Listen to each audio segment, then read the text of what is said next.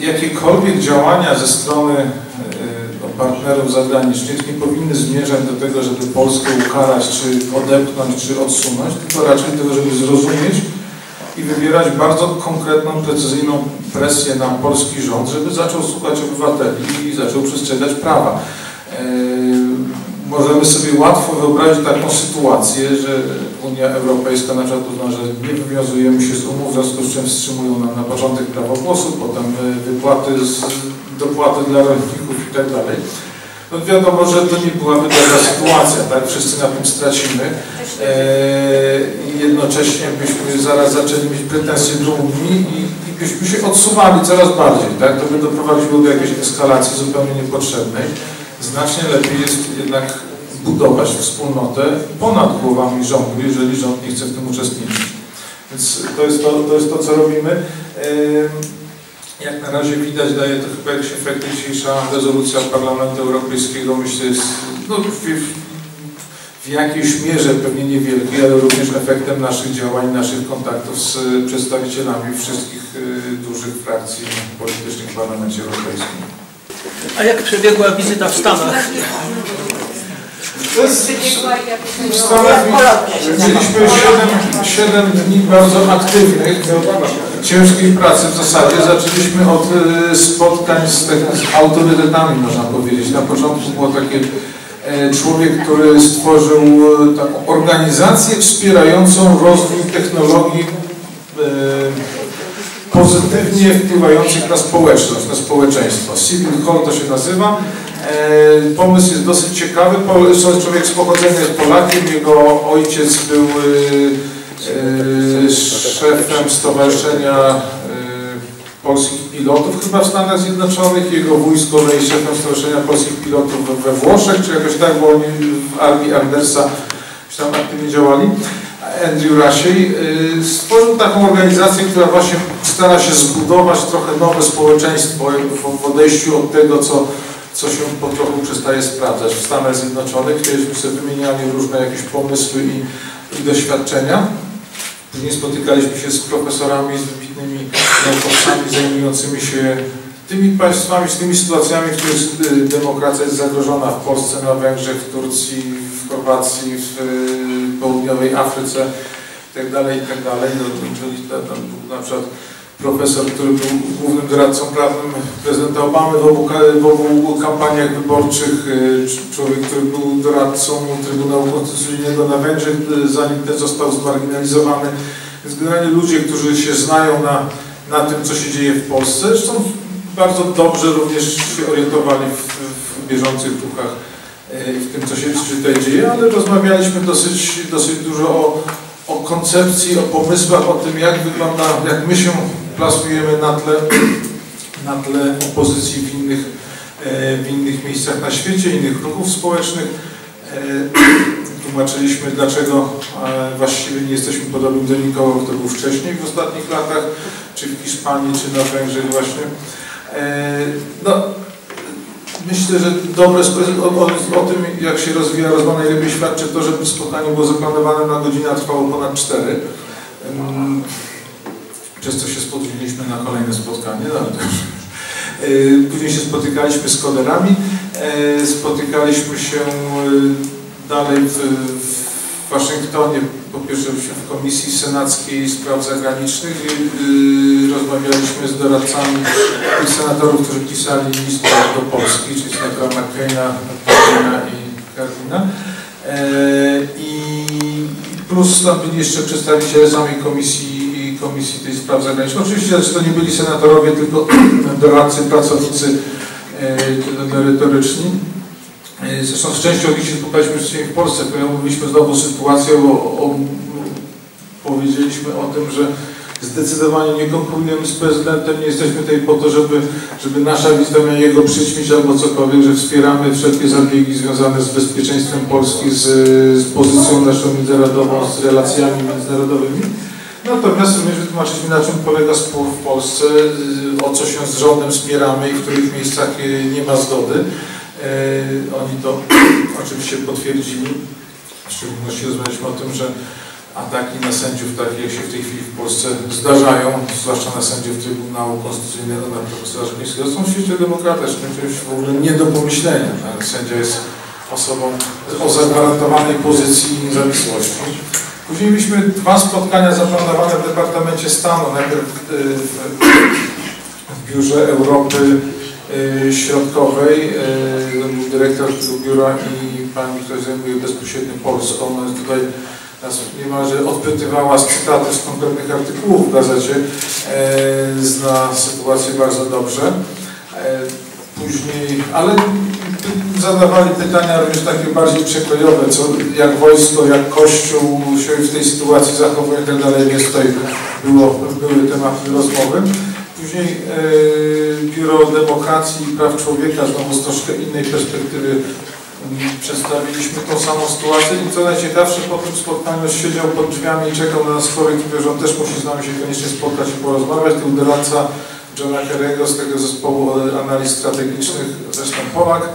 Bart Szewczyk znowu e, zadał kilka bardzo takich cennych, cennych pytań. Generalnie omówiliśmy dosyć dokładnie całą sytuację, informując, uzupełniając to, czego mogą się dowiedzieć z oficjalnych źródeł, czy też od rządu.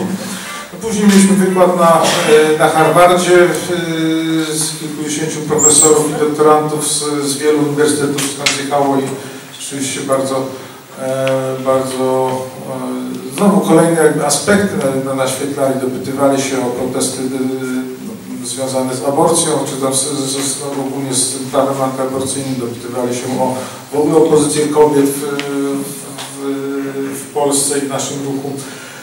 No również, również o, o, te wszystkie aspekty, które wcześniej y, omawiane były. No i na koniec y, pojechaliśmy do Chicago, gdzie znowu spotykaliśmy się z prezesem Kongresu Polonii Amerykańskiej, panem Frankiem Szpulą. Organizacja e, wydaje się być mocno zideologizowana, niemniej jednak pan prezes był bardzo otwarty, życzliwy i tutaj rozmawialiśmy o tym, jak można by podjąć dialog z, z Polonią, w jaki sposób można próbować te rowy głębokie zasypywać. No, bardzo miło się rozmawiało i zostały podjęte pewne ustalenia dotyczące jakichś najbliższych kroków, po czym po dwóch godzinach prezes do nas dzwoni i mówi, że właśnie chcą go wyrzucić, bo się rozeszła informacja, że się z nami spotkał. ale, ale liczymy na to, że to byli jacyś najbardziej agresywni, a nie większość i że jednak się utrzyma na stanowisku.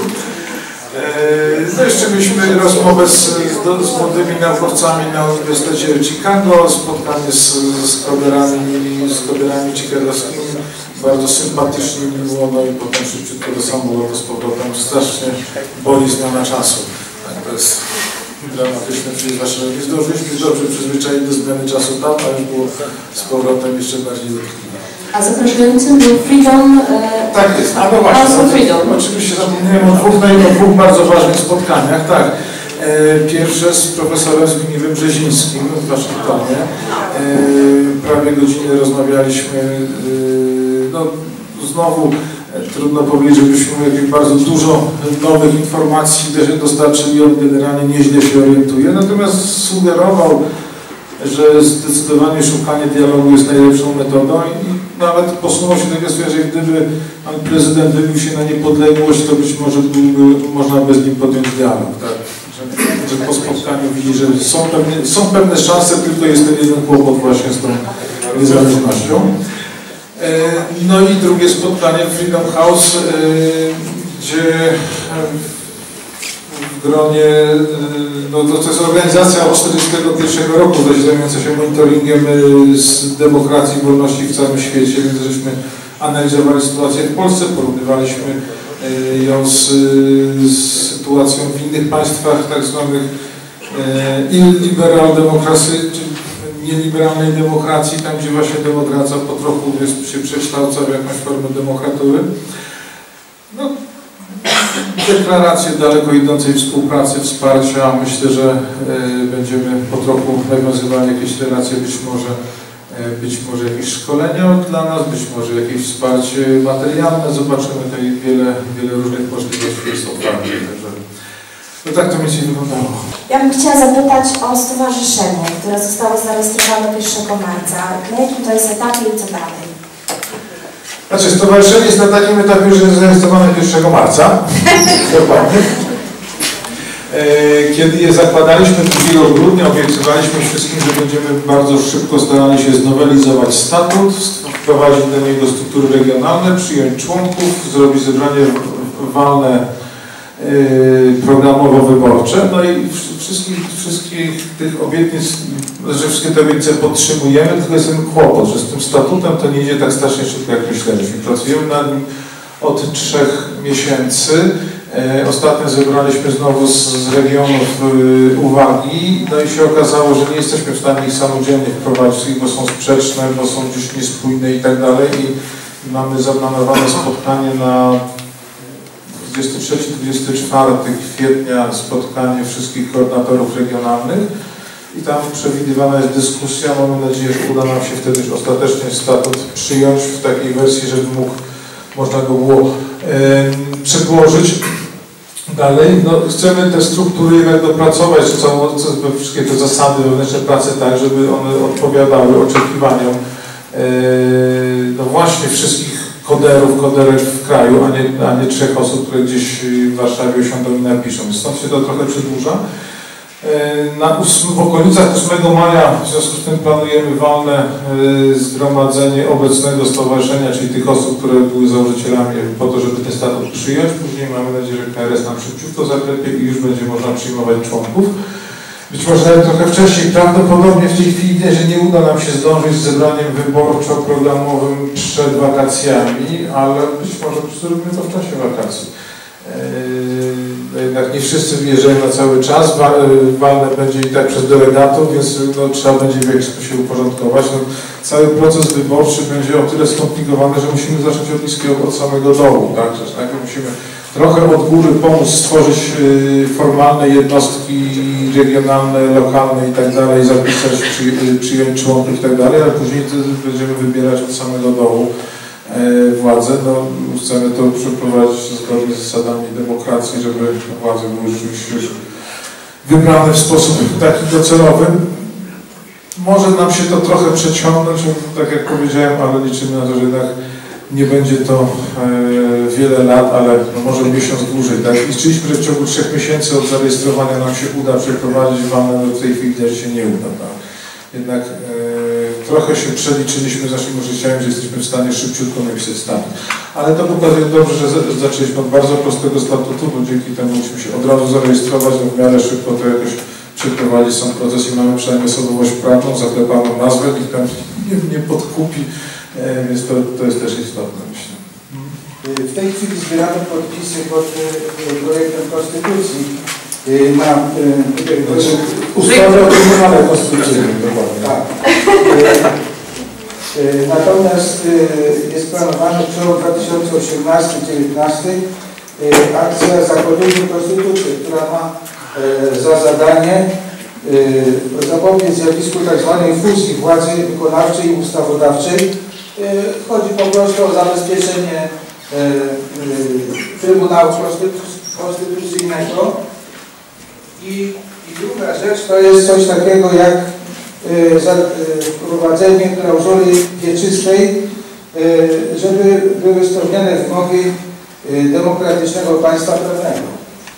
Chodzi mi o to, czy w tej chwili, bo działaniami rządu jesteśmy, no, społeczeństwo jest poruszone, czy nie, było, nie byłoby sensownie, żeby przy okazji zbierania podpisów pod tym pierwszym projektem od razu korzystać i zbierać podpisy pod, pod drugi, bo może później społeczeństwo troszeczkę przyśnie będzie mniej zainteresowane. A to nie jest takie proste, bo e, każdy projekt powstaje w jakimś momencie, zbieranie podpisów pod ustawą o tym ale konstytucji się po- powoli dobiega końca. Z tego co pamiętam do, do 4 maja możemy je zbierać, tak? Czasu już nie jest tak dużo, a, a, a inne inicjatywy się dopiero pojawiają. Ale myślę, że będziemy się e, mobilizowali. E, idzie lato, więc będzie też trochę łatwiej zbierać podpisy. To, to, to pierwsza, ta pierwsza inicjatywa e, była na pewno trudniejsza, o tyle, że dopiero i zimą i zaczynaliśmy i po raz pierwszy mamy doświadczenie, że wszystko co robi po raz kolejny wychodzi lepiej. Tak jak demonstracje, ka- każda kolejna są coraz lepiej zorganizowane i coraz sprawniej się odbywają. Ja może jeszcze tylko dodam, że też powtórzę słowa pani profesor e, Staniszki, że to jest e, głęboko niemoralne dawać ludziom e, wybór albo wolność, albo pieniądze, albo jakby te, te wszystkie prospołeczne ustawy. I e, myślę, że to też e, musimy podkreś podkreślać, że e, te jakby prospołeczne rozwiązania muszą iść, w, w parze z wolnością, inaczej prędzej czy później się przeciwko nam wszystkim obrócą. Bardzo się cieszę, że Pan przyjechał do naszego tutaj zacnego miasta. E, Ja już poprzednio z Panem Celickim miałem przyjemność rozmawiać i się nie zgadzałem z jego teorią stworzenia tutaj jakiejś para partii, bo to zawsze zawęża obraz i odbiera nam pole dyskusji. E, Ja, ja uważam, że KOT jest właśnie taką antyczną agorą, gdzie się spotykamy i mamy możliwość dyskusji. Zauważcie Państwo, tak jak wcześniej wspomniałem, ja jestem ze wsi, pochodzę niedaleko z, mie z miejscowości, w której urodził się Lech Wałęsa i, e, i, i Szanowni Państwo, znam wieś doskonale, jestem radnym powiatowym, nawet startowałem z Platformy Obywatelskiej jako jedyny e, wygrałem jakby z Platformy, gdzie było bardzo trudno, ale abstrahując od tego, e, wszystkie partie powinny mieć e, Dlaczego, dlaczego doszliśmy do takiego momentu? Doszliśmy do takiego momentu, bo również za Platformy, za każdej partii nie było dyskusji. Ludzie środka i ludzie wolności nie mieli miejsca, żeby ze sobą porozmawiać, żeby zaprosić tą drugą stronę do dyskusji. My się coraz bardziej oddalaliśmy. PiS miał i ma struktury Kościoła. Ja uważam, że Kościół popełnił olbrzymi błąd, że e, w zamiast wejść w rolę stabilizatora emocji, to e, pogłębia podział w tej chwili i e, to, co wcześniej było no, naszych spotkań, dzisiaj, e, dzisiaj się za, zaczyna wejść w politykę zbyt głęboko. Szanowni Państwo, Solidarność weszła w politykę i ja uważam, że ludzie z KOD-u, że KOD jest świetnym miejscem dla ludzi, którzy uczą się polityki. Dla ludzi, którzy uczą się demokracji. Powinni ludzie KOD-u wchodzić jak najbardziej, tylko nie z ramienia KOD-u tylko z innych struktur, bo wszyscy jesteśmy inni. Może dlatego się tutaj spotykamy, że, e, że szanujemy przede wszystkim swoją inność i prawo do inności. Szanowni Państwo, chcę jeszcze zwrócić uwagę na, e, jesteśmy po, po trudnej niedzieli i mieliśmy e, e, doświadczenie z poczuciem krzywdy, prawda?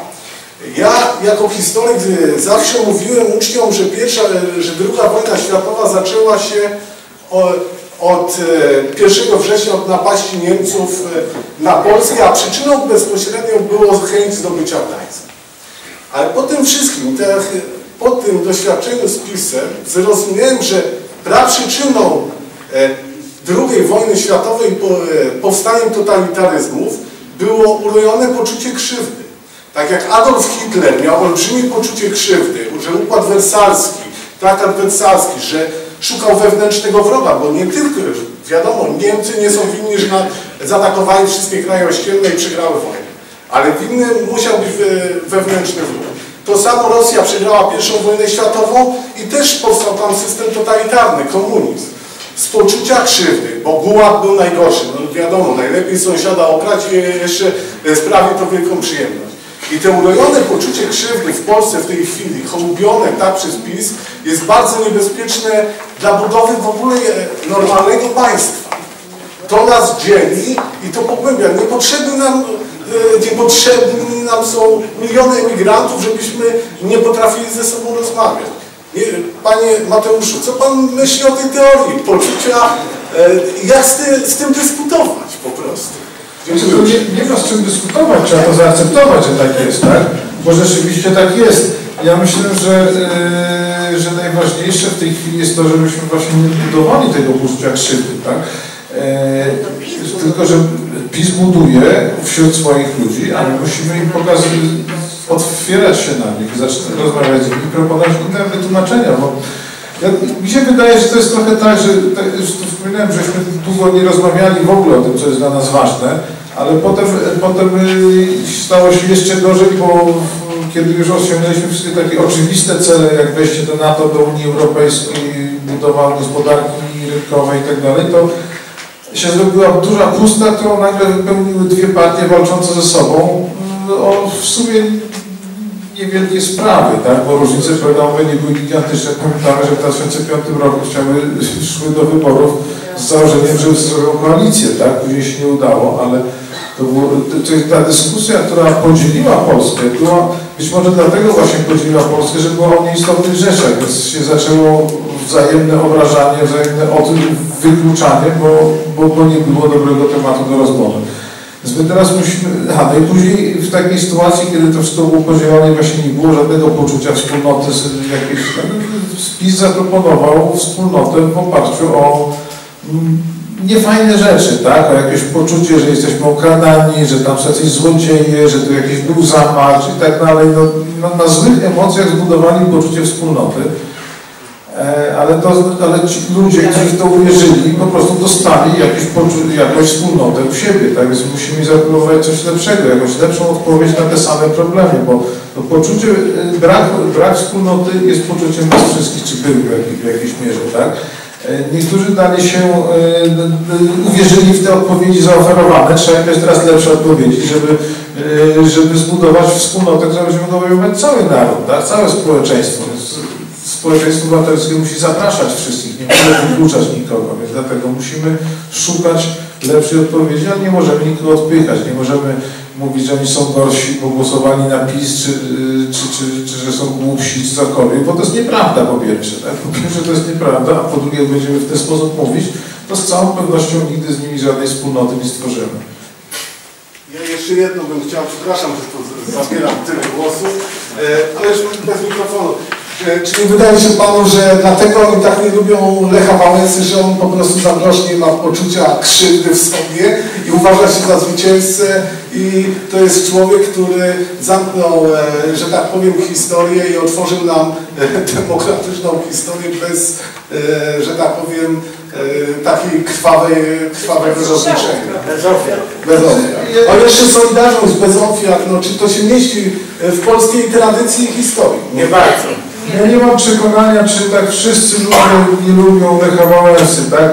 PiSu, z To jest bardziej na zasadzie takiej, że no, trzeba coś rzucić na, na, na kim, żeby się ludzie powyżywali, ale myślę, że Lech Wałęsa jest symbolem chyba nas wszystkich, tak? Jeżeli byśmy odrzucili zasługi Lecha Wałęsy, no to byśmy musieli uznać, że znaczy, i chcielibyśmy ulec tej nagonce w tej chwili, żeby uznać, że to służba bezpieczeństwa y, obaliła komunizm, tak? No, oczywiście możemy stawiać pomniki Kiszczakowi, yy, ale no chyba, chyba jednak mało kto uwierzy w to, że tak było, tak? Yy, z drugiej strony, no oczywiście te pomysły na oskarżanie w tej chwili Wałęsy o cokolwiek, co było wcześniej, są zbliżone, to jakbyśmy chcieli świętego Pawła oskarżyć o to, że mordował chrześcijan, tak? No, fakt, kiedyś mordował, tak? A potem, a potem miał duże zasługi. Podobnie Wałęsa, nie wiemy do końca, co było wcześniej. Ja myślę, że to nie ma w tej chwili znaczenia. Natomiast wiemy to, że później jest symbolem Polaków, którzy walczyli o wolność, tak? Symbolem nas wszystkich. No, mnie akurat może mi miałbym ciut za młody, żeby jakoś aktywnie bardzo walczyć, ale tych wszystkich, którzy, którzy tę walkę prowadzili, poświęcili dużą część życia na to, żeby jednak tę wolność wywalczyć, więc ja nie widzę, nie widzę powodu, dla którego mieli, mieliby nienawidzieć. Poza tym, że jest to po prostu, że jest ta właśnie taka ostra walka i polaryzacja, tak? Ale nie, nie możemy za bardzo w nią wchodzić, bo kiedy zaczynamy dyskutować z takimi argumentami, to pogłębiamy te podziały. Się, że trzeba właśnie próbować przejść nad tym, przejść, wyciągnąć rękę, zaproponować lepsze tematy, lepsze pomysły i, i szukać jakiegoś zgody, porozumienia, wzajemnego słu- wysłuchania się. Ale tu chyba chodzi o to, żeby obalić z jednej strony mm, prawdziwego bohatera, a narracja wszystko pokazuje, pokazuje, że chodzi o to, żeby wykreować nieco innego bohatera.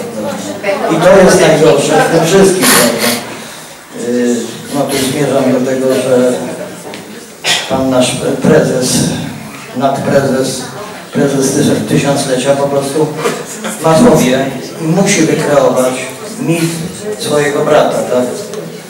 A jak będą pomniki brata, to będą również pomniki jego, bo są strasznie podobne. Zapraszam.